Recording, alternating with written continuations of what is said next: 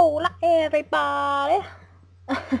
I am here to, um, gonna cut and style the Prussia wig, hooray! So we're, I'm gonna show you how to do that.